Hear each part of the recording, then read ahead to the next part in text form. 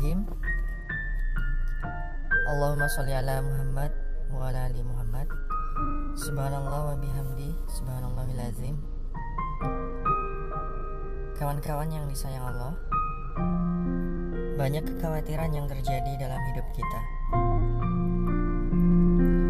Entah itu urusan finansial ataupun karir Dan juga keharmonisan keluarga banyak banget ikhtiar kita yang sudah kita lakukan dan banyak pula usaha yang sudah kita perjuangkan. Bahkan mungkin saat ini posisi kita masih dalam masa perjuangan itu. Namun entah sudah beberapa kali kita atau bahkan mungkin ini ya sudah berapa kali kita harus memulai lagi dari nol. Sayangnya Terkadang apa yang kita tempuh hanya berakhir dengan kebuntuan Atau kalau di pola pertolongan Allah Disebut dengan istilah cahaya semu ya Maaf uh, Sudah berapakah umur teman-teman?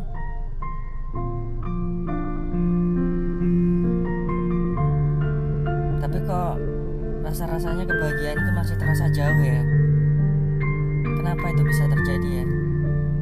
Kenapa kita belum juga mencapai titik terbaik dalam hidup kita? Masih belum bisa move on dari masa lalu? Kenapa belum bisa menemukan dan belum bisa mencari kebahagiaan yang kita cari-cari selama ini? Bisnis belum menemukan kesuksesannya, keluarga masih belum ketemu kebahagiaannya, Hutang kok rasanya nggak habis-habis sih? Apa yang salah? Mungkin kita salah dalam berdoa. Apa karena mungkin kalimatnya kurang indah kali ya? Sehingga Allah belum ridho dengan apa yang kita minta. Kawan, seberapa seringkah merasa lelah mencari kebahagiaan dalam kehidupan ini? Mulai sekarang stop berpikir kawan-kawanku Beri diri waktu sejenak untuk terdiam Ajak hati ini merenung Pernahkah kawan-kawan berpikir bahwa masalah yang selama ini datang menghampiri kawan-kawan itu bukan berarti kita harus selalu fokus mencari solusinya. Bisa jadi masalah itu datang karena Allah itu rindu pada doa kawan-kawan sekalian. Bisa jadi Allah kangen dengan kawan-kawan sekalian. Karena ada beberapa manusia yang hanya mau ketemu Allah ketika sedang ada masalah saja. Menurut kawan-kawan, dalam kisah Fir'aun, apakah Allah meminta Fir'aun menyelesaikan masalah penyakit? Menyelesaikan wabah penyakit ya? Atau sebenarnya mungkin maksud Allah adalah supaya Fir'aun kembali menyembah kepadanya? Seperti halnya ketika Allah menurunkan masalah kepada Firaun, ribuan katak, belalang, dan sungai merah. Apakah sebenarnya disuruh cari solusinya atau disuruh kembali ke Allah?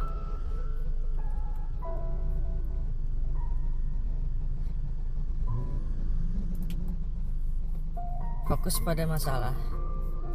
Kawan-kawan hanya akan mendapatkan masalah.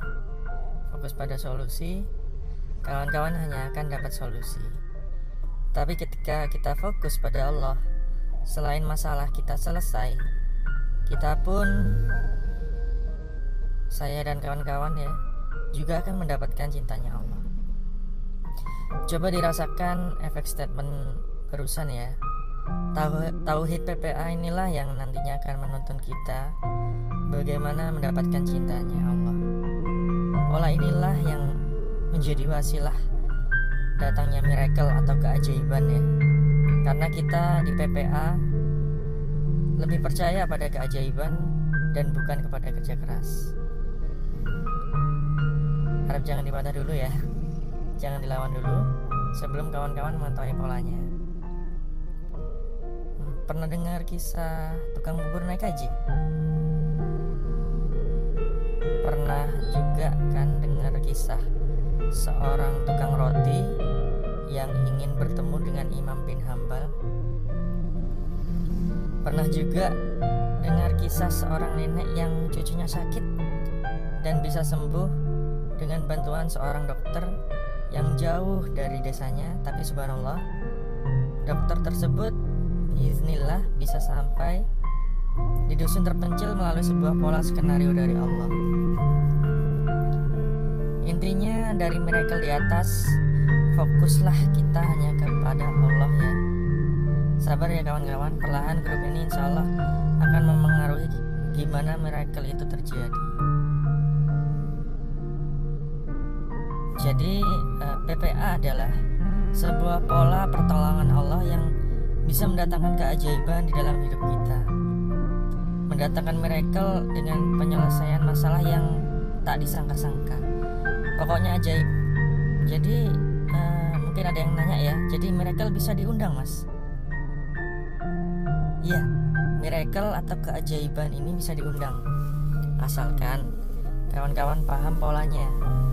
Ingat ya harus paham dan bukan cuma ngerti aja. Karena pertolongan Allah itu berada di dinding pemahaman kita. Pola ini secara nggak sengaja ditemukan oleh uh, Mas Reza Rendi ya, founder sekaligus master trainer PPA. Ketika mengamati keajaiban keaja, kejadian ajaib yang dialami beberapa orang. Beliau dengan izin Allah bisa mengambil benang merah kejadian tersebut dan kemudian mempolakannya. Pada awalnya beliau ini nggak nggak begitu yakin ya sampai-sampai beliau sendiri uh, mempraktekannya dan berhasil. Kemudian diceritakan ke sebagian teman-temannya dan pada akhirnya PPA ini menjadi sebuah private class yang alumni alumninya sudah 18 ribuan dalam waktu kurang dari 2 tahun. Banyak testi testimoni yang masuk beragam dan bikin kita merinding sendiri ya teman-teman. Ini bisa dicek silakan di www.polapertolonganallah.com. Kawan-kawan yang saya cintai karena Allah, sadar nggak sih kalau sebenarnya kawan-kawan sekarang ini sedang diperhatikan Allah, sedang dilihat Allah, bahwa kawan-kawan saat ini demi Allah dipilih oleh Allah. Jujur masih banyak yang belum dapat hidayah seperti ini ya, masih banyak yang belum bisa merasakan nikmat tauhid ini. Tapi beda dengan kawan sekalian yang insya Allah nantinya pola ini akan membantu kawan-kawan lebih dekat lagi ke Allah. Kalaupun nanti ada kemudahan ada rezeki ada kebahagiaan itu semata-mata bonus dari Allah. Yang terpenting dari PPA ini adalah kita yakin bahwa itu, Allah itu ada kita semakin yakin kita rasakan dan kita sadari bahwa Allah melihat kita semoga Oke okay guys, sekarang kita lagi ada di uh, pasar kue di Senen. Ada ribuan keluar. Nih, ini nama makanannya. Ada? Ini apa namanya bang? Jawabannya cuma satu. Kue apa namanya ini? Kue tampa. Satu gini berapa? kawan-kawan 90 ribu, 90 ribu guys. Shooting, shooting. Ya bang, tuh wawancara. Kalau abang yang di situ bang ya? Abang yang itu. Oh, iya. Nih abangnya jual di situ guys. Tuh, dia lagi makan tuh abangnya tuh. Bujo. Awal biar kenyang bang ya. bosnya itu. Iya. Kok nggak ada senyumnya bang? Masuk YouTube ini, buset. Wah, nggak mau dia. Ngomongnya kencang. Wah, rada kenceng ya. abang aja deh masuk YouTube deh, abang. Iya, iya. Oke bang, you ya. Yo. Sekarang kita ke Al-Qasas ayat 56 lihat nih kue-kuenya banyak banget guys. Ini namanya. Ini berapaan bang rata-rata bang? pada yang dikehendaki 1400 ya? Bang nggak apa-apa ya saya sorot ya. Siapa tahu kan rame bang. Ini nama tokonya apa nih? Toko kue lah ya. Oh, toko kue. Sip, ya, Bang. Apa? ya? Dulu ketika Iya, saya sama. mengadakan Sama nih. saya Segini berapa, Bang? keras Tujuh puluh ribu. Wih, tujuh puluh ribu guys. Ini udah komplit tuh, lihat tuh. Udah ada kue lapis, kue coklatnya. Mantep 75 guys, murah. Tuh, kalau mau langsung datang ke sini aja. Di akan Pasar Senen. Oh, yang belanja banyak guys tuh. Kayaknya gua harus pakai masker. Sip. Biar ganteng, guys. Thank you bang ya. Oke, thank you. Nih lagi nih ada kue. sampaikan Ini tepatnya jam Jam berapa sekarang? udah jam ke 2 rumah, Gila ramenya minta ampun tuh. dipahami oleh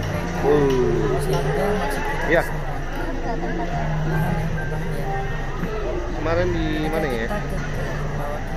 Kemarin di tuh beli aja satu dulu cobain. Oh, hah? Ini lemper. Wah, spesial lemper guys. kita terlalu sering Tuh, mantep. Hah? Iya. Gila. Banyak banget kalau men. misal saya tanya nih siapa yang mau umroh Pasar Senen. Kue. saya yakin ya Tuh, ada agar-agar. Ini berapaan bang? Rata-rata bang? tunjuk tangan Hah? atau gini Berapa dong? Agar 2000. misal saya pulang Oh. Agar 2000 tuh. Murah banget gila. pada saat Lo sampai mau buat usaha juga di sini mantep saya guys. melihat anak saya dua-duanya lagi main PS Uh, kacau tuh. Ketika sampai depan rumah saya Nah, sekarang kita lagi ada di kue siapa yang mau kue tar. Kue tar harganya ini berapa nih? anak yang satu saya 25. malah meninggalkan PS Yang pakai Ini yang 15 nih guys, tuh lihat tuh. Kuenya enak banget tuh. Sedangkan Kalau dirasain pasti enak, harganya murah. Ini PS 15 satu begini bang. Tuh gila, abang yang jual tuh. Ganteng kan? co- coklatnya 15.000. di meja, Pak. Berapa? 15 ribu. Hah? Kira-kira saya lebih ngasih ke Aduh, iklan guys. Oke guys, kita balik lagi ya. ke anak yang berlari Tuh. Nih, dia lagi beli makan, eh, beli kue. Kue bedanya. Ini 15, ini berapa? 15 ribu ini? Ini berapa? coklat pada anak 25. Jumlahnya berapa? orang tuanya yang saya cintai 60. di rumah, 60 ini mungkin 50 beda cara-cara 10. Beda tempat juga ya. kita berdoa Oh iya guys, dia menang jumlahnya sama tempatnya bagus. sekarang yang tadi tujuh tangan umroh coba saya tanya Wow, udah ada yang diikat. apakah teman-teman berdoa dengan antusias untuk setiap sholat ataukah Tuh, tinggal pilih. aja tapi nggak? Mau yang mana? Tuh, mantap. Tuh, cobain katanya. Wah, gile. tapi doanya sudah Ini namanya apa, Bang? saya Telur paling ingat yang makaroni makaroni. Tuh, makaroni. Harganya berapa, Bang? Dua ribuan guys, murah. Oh, abangnya mantap juga tuh. Sama sama abangnya jualnya emang. Tuh, harga kaki lima kualitas hotelan. Hotelan semua, ada lontong, lemper, risol. Mah, keren keren. Gile. Gak ketulungan tuh kayak abangnya keren tuh. Bang masuk YouTube bang. Tenang aja, ntar jadi viral nih. Yo, yo, Oke, klik dulu kita bang ya. Oke, thank you bang. Was, wih ternyata ada yang menghalangi. Jadi nggak bisa lewat ya kita tuh. Kita masuk ke bolu. Itu sudah bekerja. Kue bolu. Contoh, saya berdoa, Ini namanya kue saya bolu. pengen banget Oh, bisa jadi pada Bang, berapaan, Bang? kita berdoa, 1500. sendiri saat ini Selapis legit. Tuh, udah lapis legit lagi guys. Cuma 1500. baru dibuat Bisa buat acara ulang tahun, kawinan. Ya, tuh. dan seterusnya. Iya, abang mantep bang. Dari jam berapa bang? Jam 7 ya? 7 malam? Oh sore. Wuh, sampai Wih, kerja keras abang ini hebat. Atau 1500. atau contoh lagi. Tuh, kalau mau tuh 1500. Suatu malam Buat acara. Hah? Kebayang. Oh, tuh. Mantap katanya. Rata-rata 1500. Keren. Iya, Bang. Tenang, Bang. Aku masukin YouTube, Bang. sayang ya kadang yang sekecil itu manusia merasa biasa saja dan bersyukur Tuh.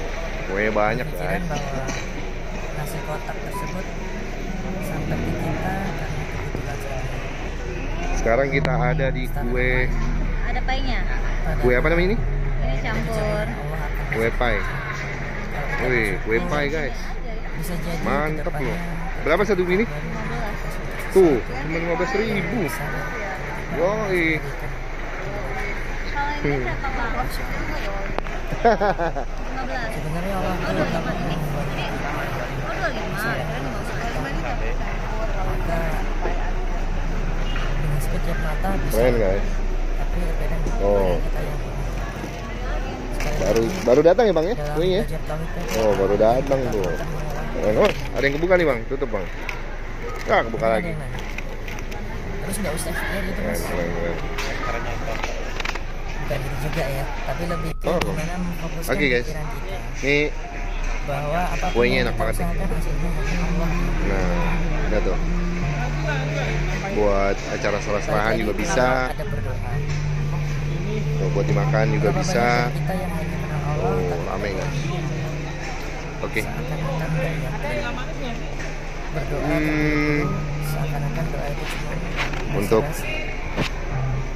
Session kali ini cukup sampai di sini dulu ya, guys. Nanti kita akan ketemu lagi di vlog-vlog berikutnya. Di vlog gue. Subscribe, kita mendapatkan si Mas Hari dan sampai ketemu. Bye. Tapi masih saja dikurangi. Oke guys. Sekarang kita lagi ada di eh, pasar kue meyakini di Senen ini nama makanannya. Ini apa namanya bang? Fokus ke Allah. Kue apa namanya ini? Kue tampak. Satu gini berapa? ini. 90.000 ribu. 90 ribu guys. mohon padanya. Shooting shooting. Ya bang tuh. Wawancara. kalau abang di situ bang ya Saya pada di sini. Abang yang itu Weh. semoga Allah nih abangnya jual di situ guys Tuh. Tuh, dia lagi makan tuh abangnya tuh. Bujo. Awal biar kenyang bang ya. Nah, bosnya itu. Iya. Kok nggak ada senyumnya bang? yang Masuk YouTube ini, buset. Wah, kagak mau dia. Rada kencang. Wah, rada kenceng ya. Bener Allah itu malu Abang aja deh masuk YouTube deh, abang. Iya, iya. Oke bang, you ya. sampai Ya. tangannya turun tapi Allah Sekarang kita ke. Lihat nih kue-kuenya banyak banget guys. Ini namanya. Ini berapaan bang rata-rata bang? seorang presiden 1400 ya? Bang, nggak apa-apa ya saya sorot ya. Weh. Siapa tahu kan rame bang. Ini nama tokonya apa nih? mulai teropos dan Toko kue lah ya. Oh, toko kue. Sip, ya bang. Oke. Apa ya? Iya, sama. baju terbaik Sama nih. Segini berapa bang? Kita 75.000. pelan-pelan atau Wih, 75.000 guys. jual sekilas saja Ini udah komplit tuh, lihat tuh. Udah ada kue lapis, kue coklatnya. Sini, Mantep 75 guys, murah. Kalau mau langsung datang ke sini aja. Di Pasar Senen. Oh, yang belanja banyak guys tuh. seperti itu Kayaknya gua harus pakai masker tuh. sendiri ya kira-kira permohonan Sip. Biar ganteng guys. Thank you bang ya. Oke, thank you. Ini lagi nih ada kue. awali dengan Ini tepatnya jam. Jam berapa sekarang? Dan udah jam 2. Gila minta oleh ampun tuh. Oh.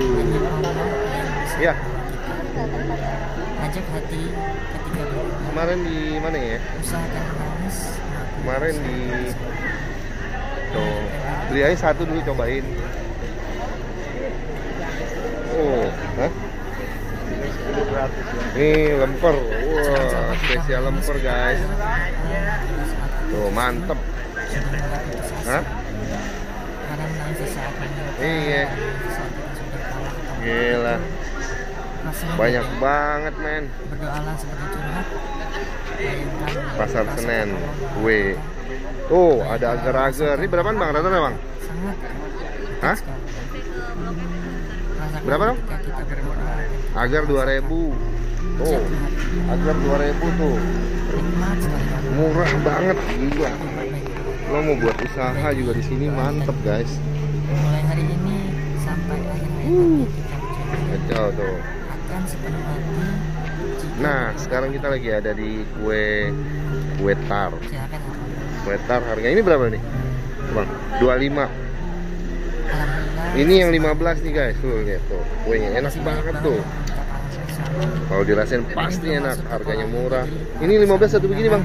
Tuh gila abang yang jual tuh. Ganteng kan? Agar 15 ribu. Berapa? 15 ribu. hah? Aduh, iklan, guys. Oke guys kita balik lagi ya. Kalau nggak mau ini ya dia lagi beli makan. Nah, beli kue. Kue bedanya ini 15 ini berapa 15 ribu. Ini? Ini berapa? Assalamualaikum. 25 warahmatullahi wabarakatuh. Jumlahnya berapa